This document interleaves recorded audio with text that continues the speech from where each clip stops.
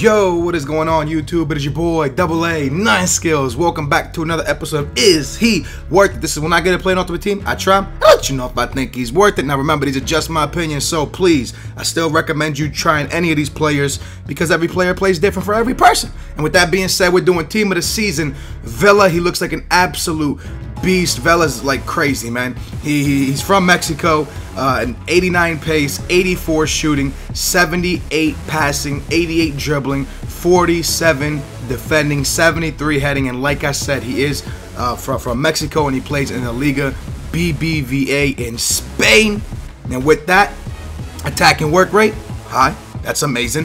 Defensive work rate, rate low that's that's pretty good, except for the fact that he plays right wing. You probably want him to drop back, especially if you haven't played at right mid. Weak foot, two stars, and skill moves, four star skills. That's amazing. His price, 97k on the PS3, 96k on the Xbox. Now let me let you let me let you guys know what I think about this guy. First of all, his passing is pretty low, so his crossing's not the best. He has a pretty good cross on him, but it seems like uh, a, a lot of the times because because he's playing the right wing, you cross a lot with your right foot. He doesn't have a good right foot, so his cross is always going all over the place. So that's the first thing that's kind of bad about him.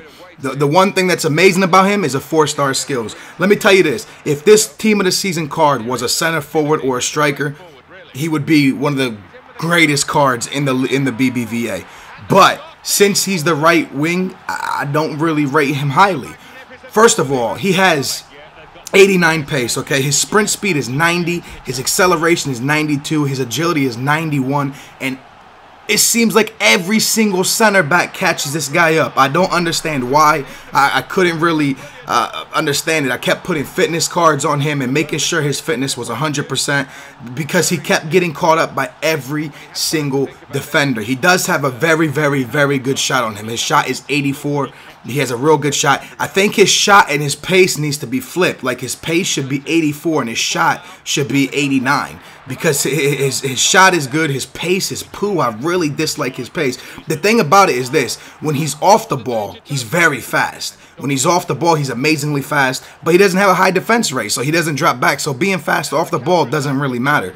But on the ball. He seems so slow. Pepe was catching him up all the time. Felipe Santana, uh, uh, Chiellini in that clip caught him up. And I know those are really, really fast center backs, but they don't have the pace that this guy has. So they should be a step ahead of them, and, they're not. I got caught up by a lot of slow defenders with him, too. So um, look at Felipe Santana here. He was so far behind me, and he just catches me up so quickly.